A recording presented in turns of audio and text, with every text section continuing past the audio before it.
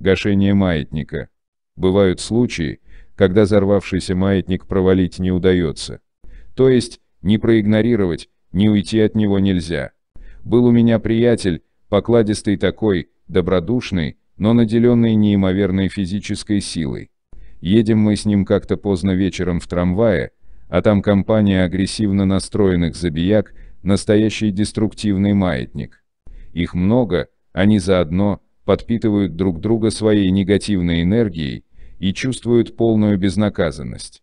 Но чтобы набрать еще больше энергии, такой компании, как правило, требуется постоянно кого-нибудь задирать, чтобы получить подпитку извне. Они начали приставать к моему приятелю, потому что добродушное и миролюбивое выражение его лица не внушало никакой опасности. Они и так, и этак пытались его подеть издевками и оскорблениями, но он сидел молча и не отвечал на провокации, то есть пытался провалить маятник. Я тоже не вмешивался, поскольку знал, что ему ничего не грозит, а вот компания очень рискует. Наконец, не выдержав, мой приятель направился к выходу, но ему преградил путь самый жадный и обнаглевший приверженец. Тогда мой приятель, загнанный в угол, схватил засранца за шиворот и нанес чудовищный удар.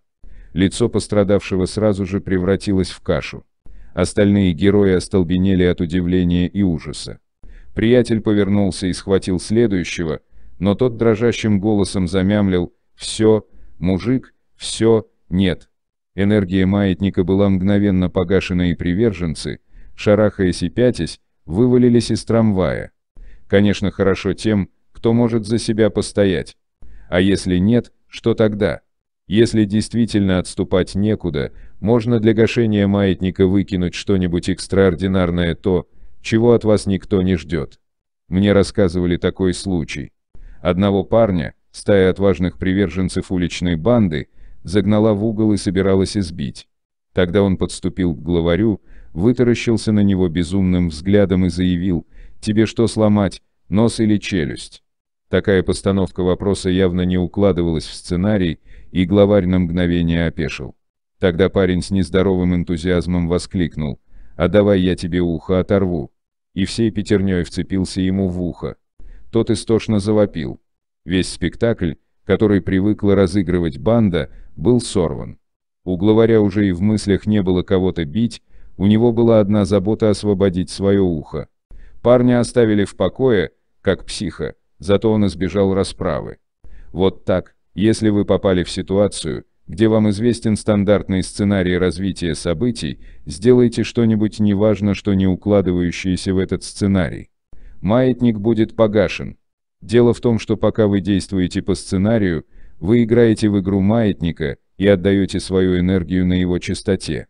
Но если ваша частота сильно отличается, вы попадаете в диссонанс с маятником и тем самым сбиваете его с ритма. В то же время, не следует лезть на рожон, если вы имеете дело с маятником, которому нечего терять. Если на вас напали с целью ограбления, лучше сразу отдайте деньги. Некоторые даже специально носят для таких случаев десяток долларов наличными. Например, если грабитель наркоман или псих, он легко может лишить вас жизни, даже если вы мастер боевых искусств поэтому с ним не следует связываться, как и с бешеной собакой. Ваша смерть будет неоправданной и нелепой. В гашении может помочь чувство юмора и воображения. Обратите свое раздражение в игру. Например, вам досаждают толпы людей на улице или в транспорте, которые куда-то спешат и мешают вам. Представьте, что вы в Антарктиде на птичьем базаре. Люди — это пингвины, они очень смешно переваливаются, суетятся и копошатся. А вы-то кто? Тоже пингвин. После такой трансформации люди уже внушают скорее симпатию и любопытство, чем раздражение. Конечно, это может показаться трудным, когда хочется наоборот рвать и метать. В такие моменты труднее всего вспомнить, что это всего лишь маятник домогается вашей энергии, и что подаваться на провокации нельзя. Маятник, подобно вампиру, пользуется своего рода анестезией вашей привычкой негативно реагировать на раздражитель. Даже сейчас, прочитав эти строки, вы можете через несколько минут отвлечься и раздраженно ответить на нежелательный телефонный звонок. Но если вы поставите себе цель заиметь привычку помнить, у вас со временем выработается иммунитет на провокации маятников. Обратите внимание, когда вы натолкнулись на какое-нибудь досадное обстоятельство и отреагировали раздражением, недовольством, негативными эмоциями, тут же следует продолжение и развитие негативной ситуации в том же духе, или появляются новые неприятности. Так раскачивается маятник. Это вы сами его раскачиваете. Сделайте наоборот. Либо не реагируйте никак, либо ответьте совсем противоположной реакцией. Например, вы можете встретить неприятность с наигранным энтузиазмом или вообще с идиотским восторгом. Это гашение маятника.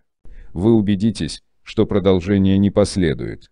Как вы помните, привычка негативно реагировать на досадные обстоятельства является стартовым рычагом механизма захвата маятником вашей мысленной энергии. Такая привычка поблекнет, если вы будете играть в своеобразную игру, в которой нарочно сделаете следующую подмену. Страх-уверенность, уныние-энтузиазм, негодование-равнодушие, раздражение-радость. Попробуйте реагировать хотя бы на мелкие неприятности неадекватно. Что вы теряете?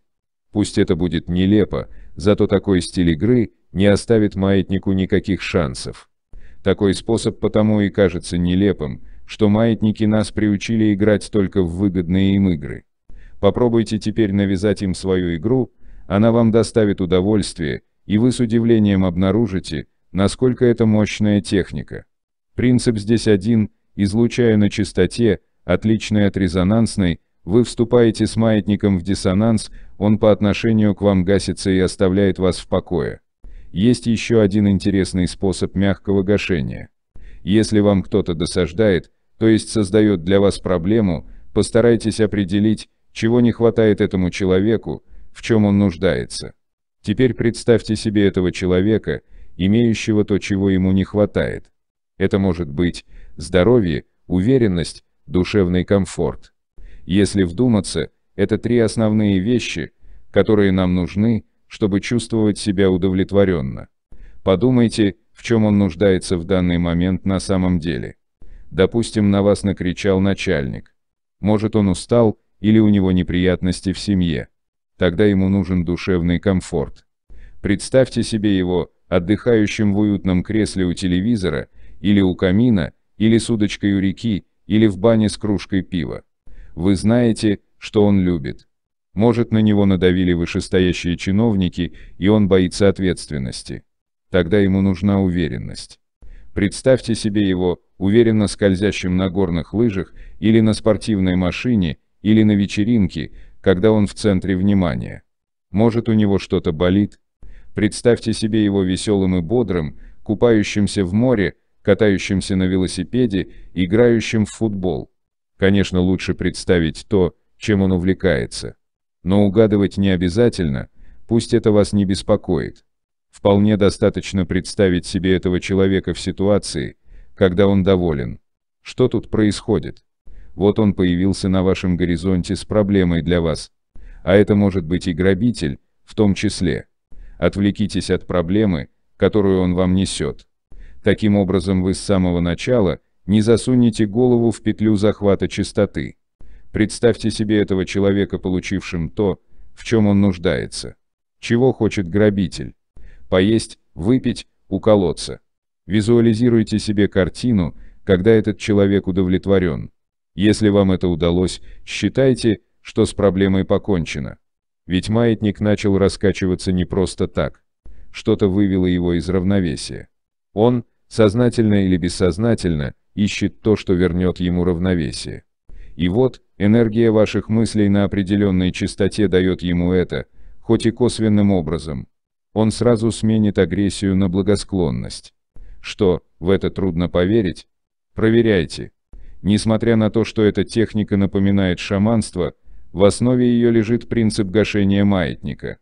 Человек-маятник идет к вам с проблемой, а вы ее удовлетворяете, но не явным образом, а на энергетическом уровне. Вы отдали ему свою энергию, но только самую малую часть по сравнению с тем, что могли потерять.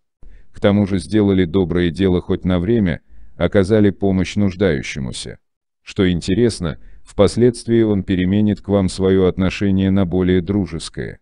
Ему будет невдомек, почему в вашем обществе он чувствует себя комфортно. Пусть это будет ваш маленький секрет. Такую технику можно успешно применять и в случаях, когда вам самим что-то нужно получить от человека, а он озабочен своими проблемами и не расположен вам это дать. Вам нужна подпись чиновника, сначала подкормите его благотворной визуализацией, и он все для вас сделает. Ну и последнее. Как вы думаете, куда девается энергия маятника, которого вы погасили? Она переходит к вам. Вы становитесь сильнее. Если вы справились с проблемой, вы стали сильнее. В следующий раз это для вас уже не проблема. Разве не так? А если вы боретесь с проблемой, вы отдаете энергию маятнику, породившему проблему. Методы провала и гашения маятника известны психологам и психотерапевтам как профессиональные приемы. В этом смысле данные методы не являются ничем принципиально новым. Зато для человека, незнакомого с приемами практической психологии, эти методы представляют ценность, поскольку дают ясность и понимание того, как и почему работает психологическая защита.